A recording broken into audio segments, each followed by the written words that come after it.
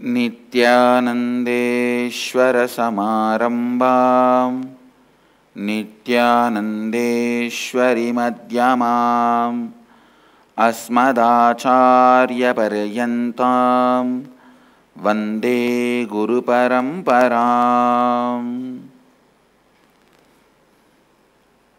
I welcome all the devotees, disciples, Samajis, Satsangis, Sri Mahants, Mahants, Tanedars, Kotaris, visitors, viewers, sitting with us through Nithyananda TV, Sadhana TV, Ara TV, and two-way video conferencing, having Nayanadiksha,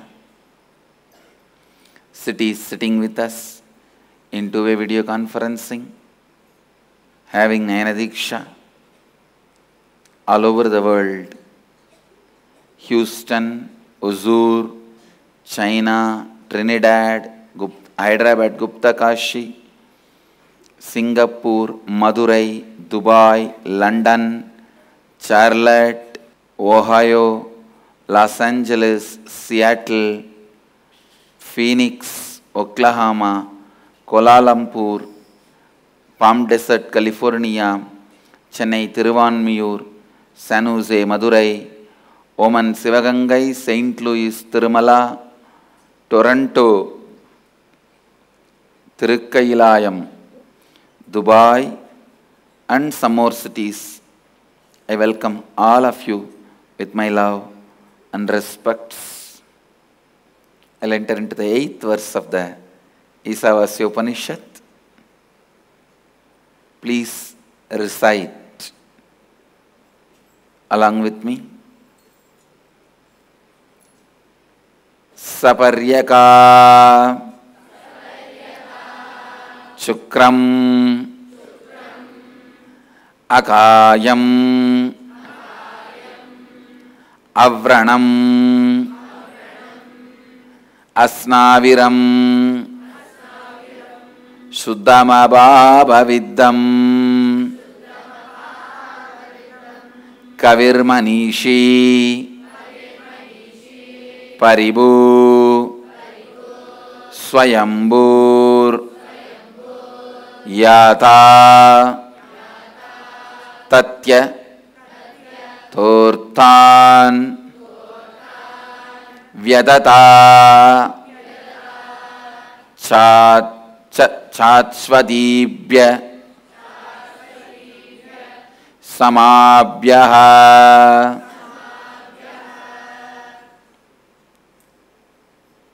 सपर्यकात् शुक्रमकायम अव्रणम् अस्नाविरं शुद्धमभावविद्धं कविर्मनीषी परीभू स्वयंभूर् याधा तत्य दोर्तान् व्यदताश्चात् वदीभ्य समाभ्यः read out the translation.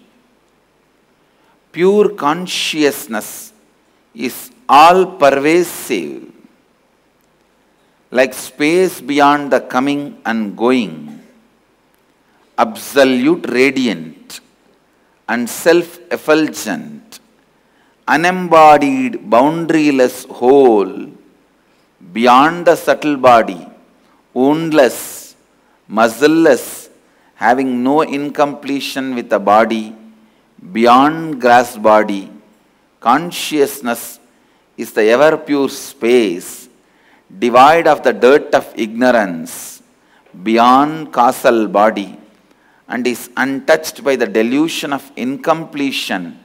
Consciousness is the all knowing seer of all, past, present, future. The Lord of all minds, consciousness transcends all beings. Consciousness is self existent by itself, with its independent will and intelligence, having no cause for its happening. It is pure consciousness that from time eternal has enriched the ages and each being by ordaining desirable responsibilities unto them as per their nature and space and their actions and results thereof.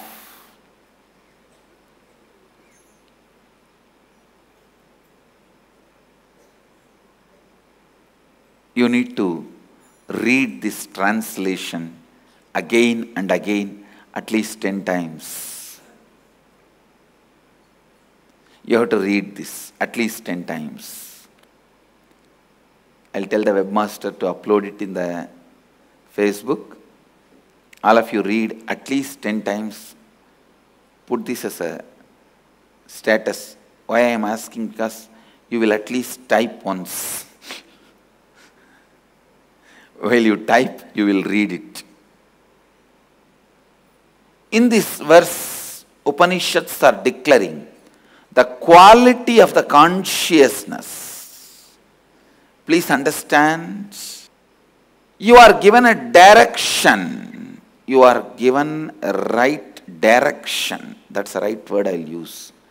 For your manana, contemplation, for your internalizing. You are given a conscious direction. What you are supposed to do to experience the ultimate consciousness is described in this verse. Pure consciousness is all pervasive. Even the moment you meditate, you just know.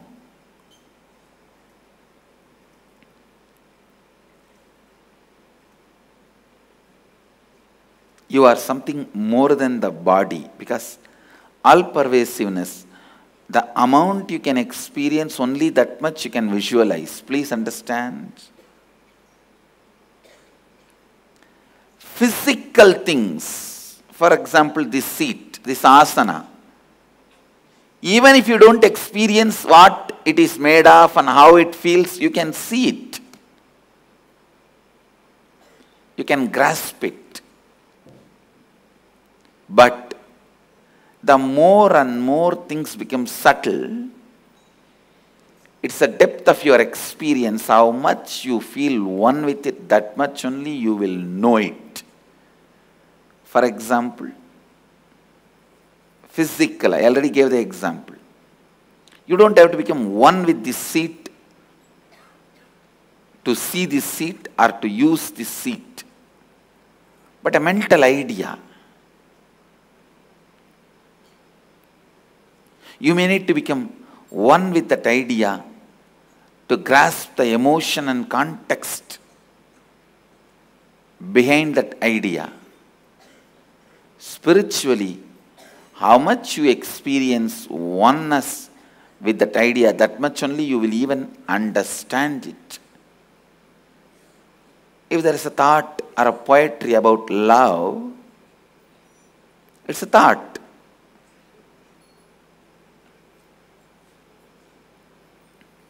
The level you experience that emotion, that much only you will understand those words uttered the thought current.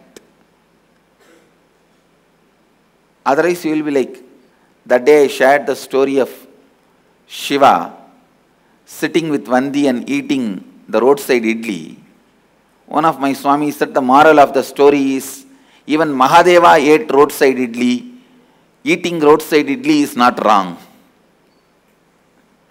When you don't understand the emotion, this is the word, this is the meaning you will make for the words. Understand?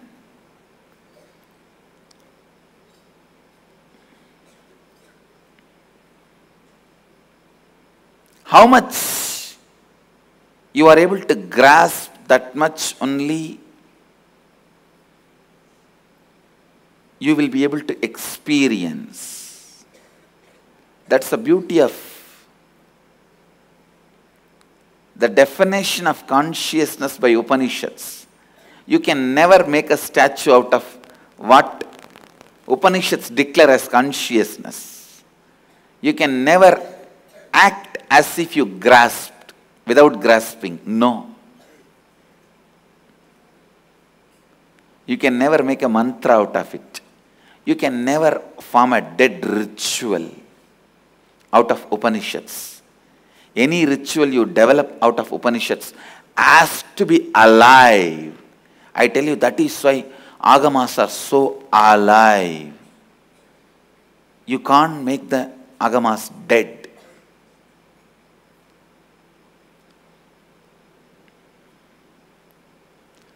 How much you, ever you try to kill them, again and again, we will happen and make it as alive. Agamas can never be, agamas can never be dead. Nigama, Nigama means Vedas. Agama means applied Vedas. User friendly version of Vedas.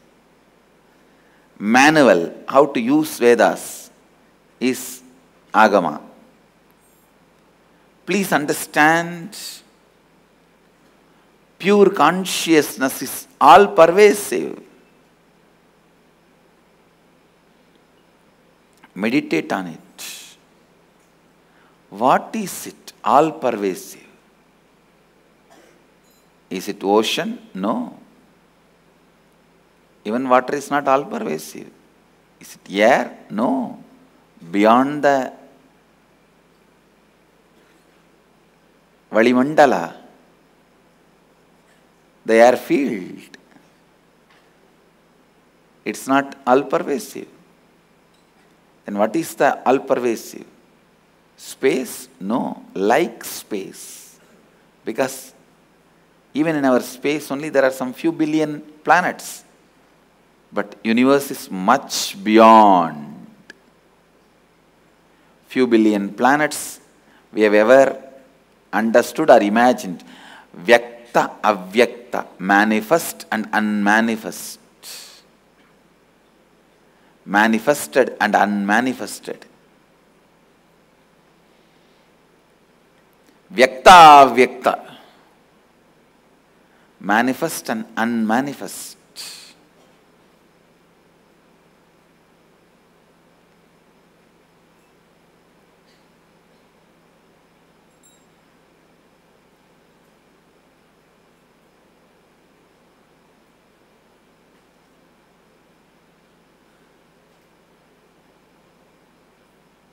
Meditate on it. Meditate on it. Meditate on it.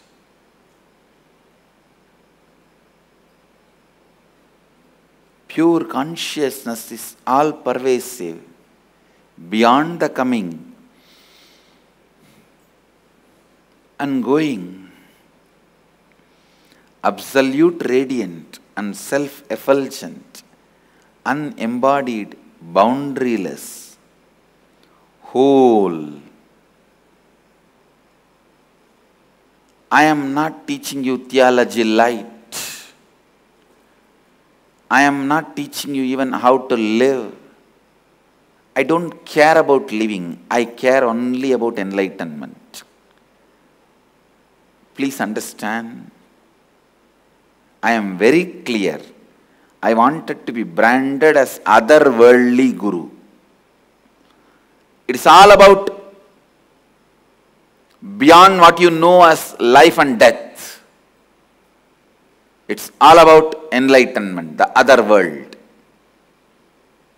Beyond.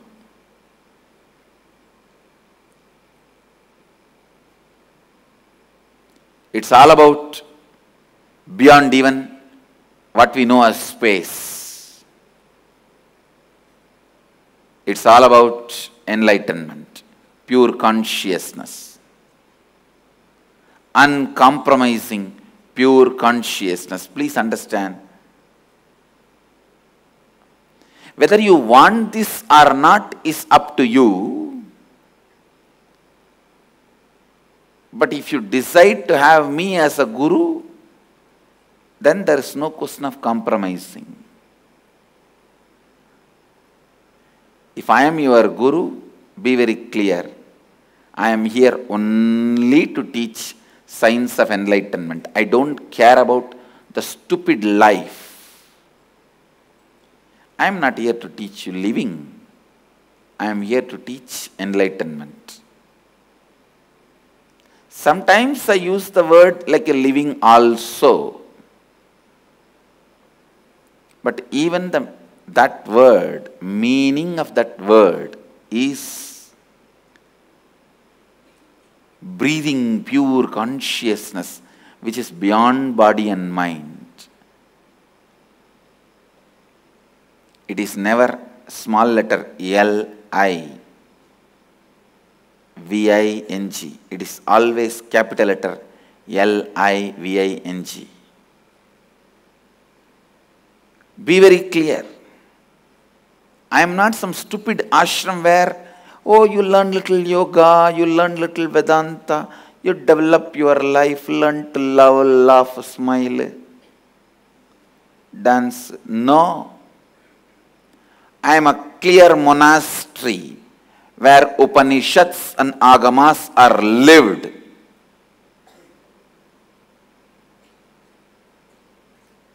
Where a strict celibacy is practiced.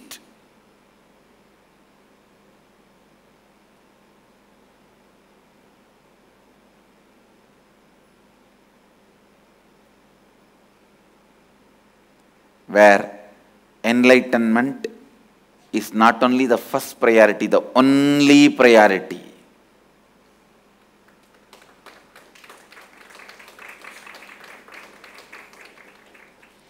I think Upanishads are reminding us again and again with this verse. The context of this verse is by defining consciousness, Upanishads are asking us to align ourselves again to the context.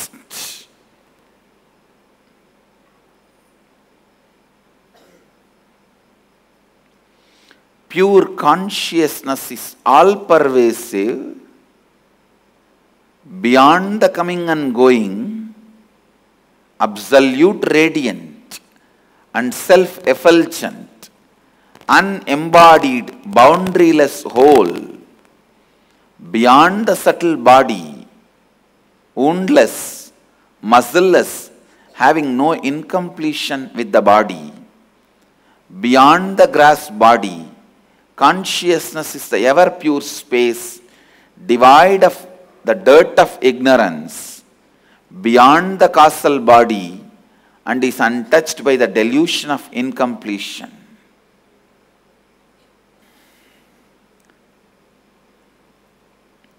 This description, this description itself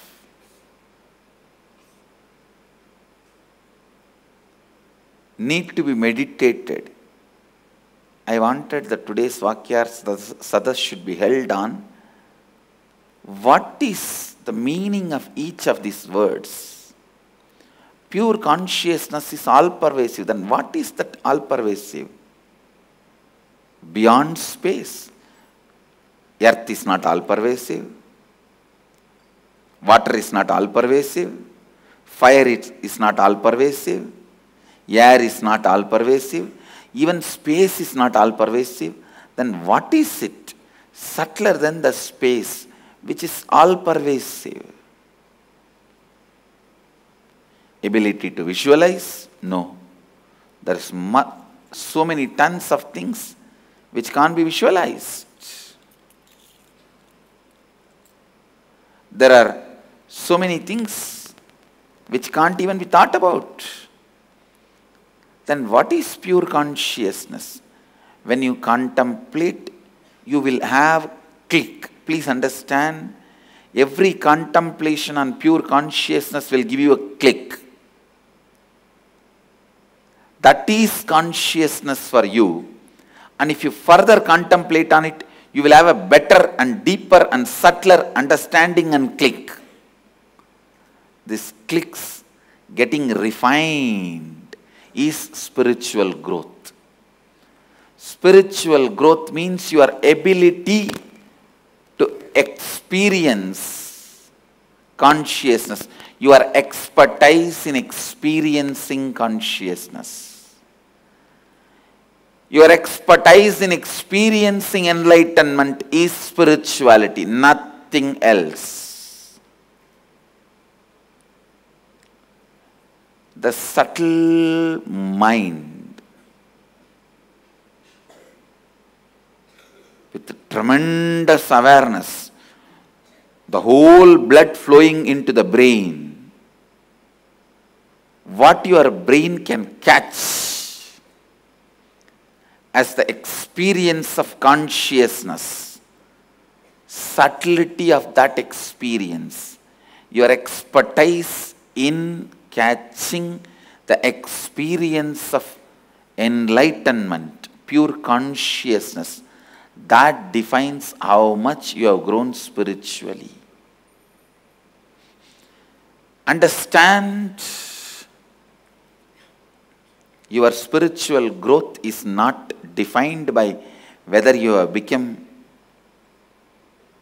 brahmachari or a swami or a kotari or a tanedar or a mahant. No.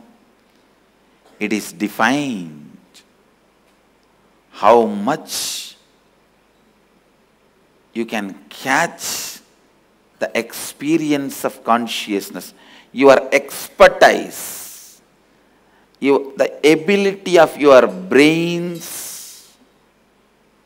power, ability of your brain's expertise, the subtle grooves of your brains, its ability and expertise to catch the experience of consciousness. The experience of consciousness, that, that makes, that makes experience of that, that makes you spiritual. I tell you, all spiritual practices are just to develop that subtle brain grooves in you to catch the pure consciousness whether you sit in the banks of Ganga in silence in Haridwar or you sit in the silence of Manikarnika, Mahasmashana in Varanasi, or you sit in the silence of Gomukh, Tapovan, understand when your brain grooves, the subtle brain grooves, are able to catch the concept of consciousness, the spirituality is awakened in you. It's beyond body mind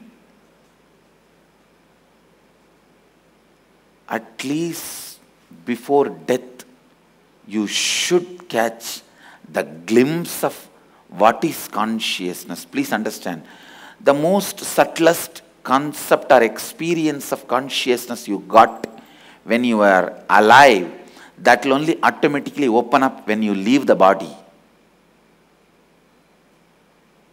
That's the greatest gift you can receive from a master. That is why I am insisting on all our devotees. If you have elderly parents above 60, the modern day above 60 means in waiting list for packing up. If you have elderly parents above 60, don't miss the chance of Varanasi Shivoham.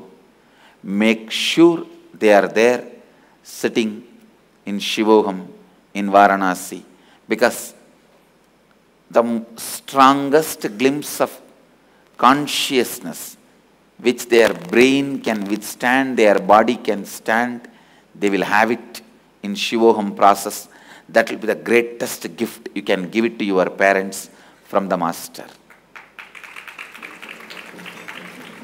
Many people when they come and attend the program, they try to take the Rudraksha something from me as a gift to your family and friends and parents. I don't know about others. If you have parents above 60, do not miss. This is your responsibility. See to it they are sitting in Varanasi Shivoham. They catch the glimpse of what their brain can grasp. Understand once you are above 60, lot of your time should be spent on grasping what is consciousness, the subtlety of the consciousness should be grasped.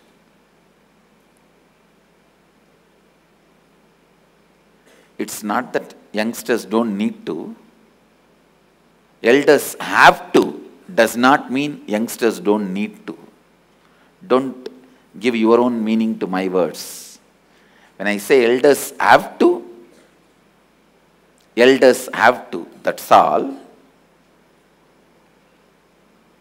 Youngsters, youngsters also can, or after you become an elder, you have to.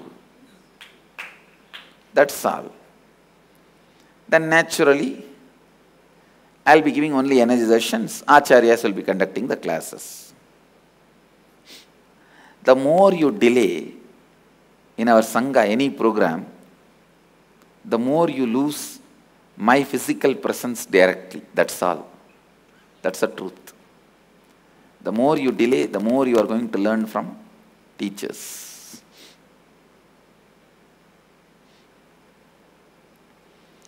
Pure consciousness is all pervasive. Beyond the coming and going, absolute radiant and self effulgent, unembodied, boundaryless whole, woundless, muscleless, having no incompletion with the body. Consciousness is the ever pure space devoid of the dirt of ignorance.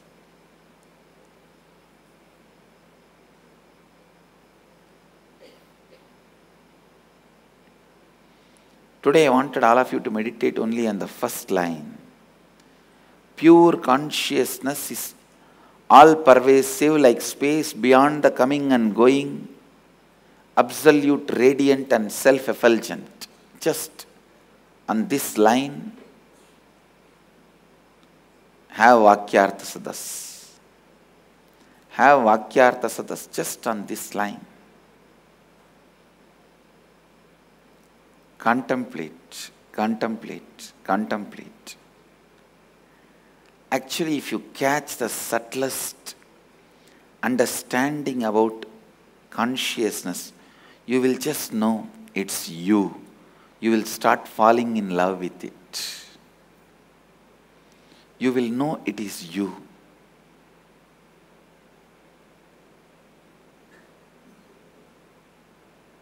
You will fall in love with only things which you feel as you are part of you not anything else. Consciousness always stays itself.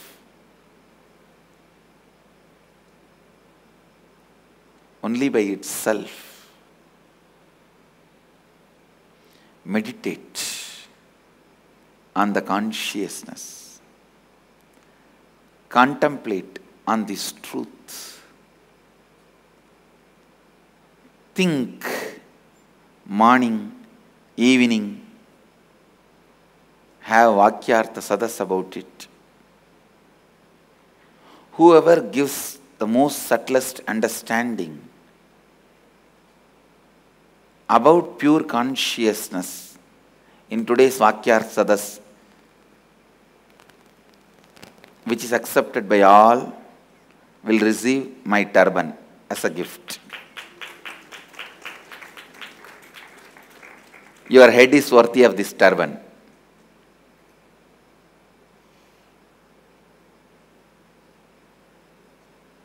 Because all Vakyartha Sadas from the time immemorial was held only for imparting the subtle, most understanding and glimpse of consciousness.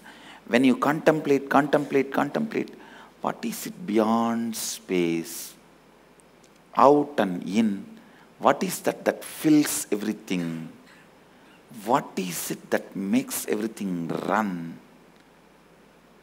What is it that is source of me?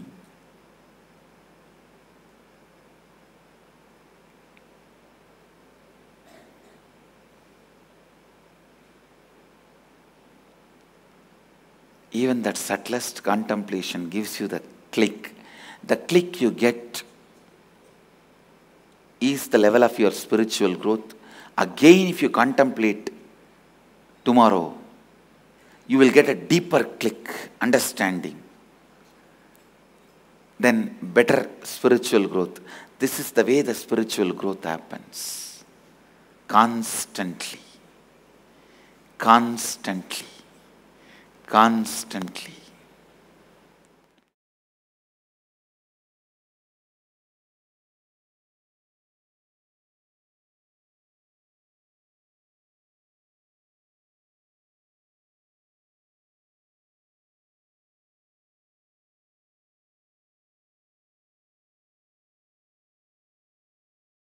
I bless you all. Let you all radiate with integrity, authenticity, responsibility, enriching, causing, living Advaita, the eternal bliss, Nityananda. Thank you. Be blissful.